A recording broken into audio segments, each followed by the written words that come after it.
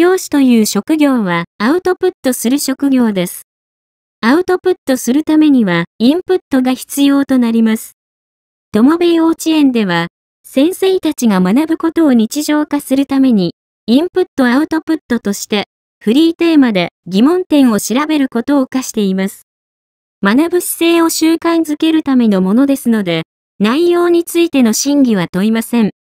必ずしも、正しいこととは限りませんので、ご了承ください。はい、それでは私のインプットアウトプットをお話しさせていただきます。今日はちょっと子どもたちに流行り始めた飛び火についてお話ししたいと思います。飛び火は伝染性脳過信というそうで飛び火にはなんか皮膚に細菌が感染することで起きる病気だそうです。えっと、由来と呼ばれている理由としてはあの水ぶくれやかさぶたが全身に広がる様子が火事のお家の火事の様子火事の粉のが飛び散る様子が似ているそうなのでなんかそう呼ばれるようになったそうです、えっと、原因としては虫刺されや飛び、えっと、汗もやっぱりちょっと痒くなってかしかきむせちゃうことが原因やちっちゃな怪我やっぱり擦り傷とか切り傷などにもなんか原因に傷に入り細菌が入り込み、えっと、感染することで発症するそうです、えっと、菌としては、えっと、黄色ブドウ球菌や脳下連鎖球菌の2つあるそうです、えっと、黄色ブドウ球菌は皮膚の表面の鼻表面や鼻の中にある、えっと、常在菌で可能連鎖球球菌は鼻の中の鼻の中や喉にある、えっと、常在菌だそうです、えっとそれで症状としてはやっぱり先ほどお話しした通り水えっとかさぶたができるでもかさぶたにも2種類2つ2種類あるそうで、えっと、水ぶくれができるタイプとあとかさぶたができるタイプがあるそうで、えっと、かさぶたができるタイプを水疱性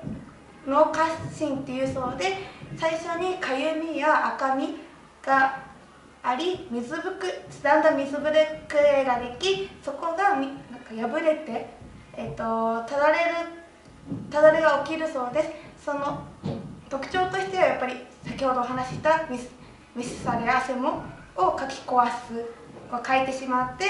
から始まることが多いそうでこの水ぶくれができるタイプは子供やっぱり赤ちゃんや子供にできるのが多いそうです。あとは夏季今の時期ですね。今の時期にできるのが多いって言われてるそうです。また、えっと、かさぶたができるタイプが、えっと、赤み水ぶくれと同様赤みから始まり小さな濃厚水ぶくれですね。水ぶくれでき破れてただれてあの熱いかさぶたができるそうです。特徴としては患部に腫れ腫れたりやっぱり喉のかゆみや発熱などがあるそうです。えっと、季節は関係なくこちら、えっと、かさぶたができるタイプは大人にもできるそうなのでちょっと注意してほしいなと思いました。また飛び火はあのよく分かっているいらっしゃると思うんですけど人から人にうつるあの集団発生が多いとことは特徴だそうです、対処法としては、えっと、患部の清潔を保つことが大切だそうです。石鹸をよく泡立てて優しく患部を洗ってシャワーでよくあの洗い流すのがいいってこととあと他人他の人にも移るのを避けるためにプールやおあのお風呂を最後に入ったりとかプールは入らないようにしたりすることがいいそうです。あと日頃から爪の長さも短く切っていくことでかいたりするのを防ぐことができるそうです。あとタオルや衣類などをがでも移る可能性もあるそうなのであの共有飛び火がかかってしまった子のタオルをこう使ったりするのはやめた方がいいってことだそうですあとかかった場合はあの症状がある部分をガーゼやあの布などでこうかこれかぶせてあの引っかかないようにするのがいいってことだそうです。これが私のインプットアウトプットです。ありがとうございました。